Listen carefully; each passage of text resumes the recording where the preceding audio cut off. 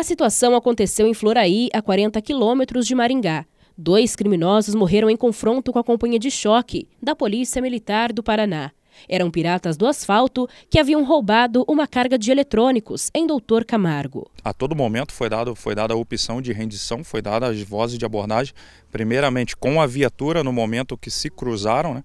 Naquele momento já poderia é, os marginais ali parar o veículo e se render e responder pelo delito que praticaram. Né?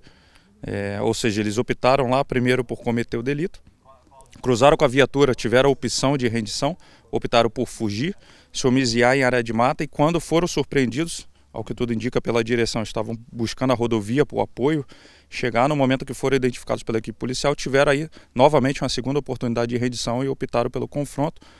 É, resolvendo medir forças com as equipes policiais, aí policiais treinados é, e graças a Deus, felizmente, o, o resultado foi, foi melhor para nós e pior para eles. Um dos mortos foi identificado como Vanderlei Camilo Júnior dos Santos, de 27 anos, morador de Umuarama. O comparsa ainda não foi identificado no IML. Com a dupla foi apreendida fardas falsificadas do Exército, que eram usadas durante os assaltos, além de capuzes, um revólver, uma pistola e munições.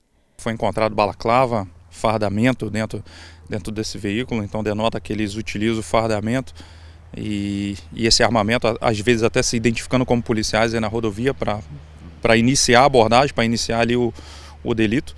É, então, ao que tudo indica, é uma quadrilha especializada. Com certeza tem outros veículos envolvidos, não, não só esses dois homens que entraram em óbito no local, esses dois veículos. Esses aqui eram os veículos onde estavam a carga, né? mas com certeza tem outros veículos envolvidos.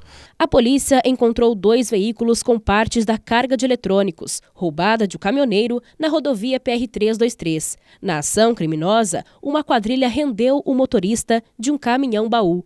Outros criminosos que participaram do crime ainda não foram encontrados.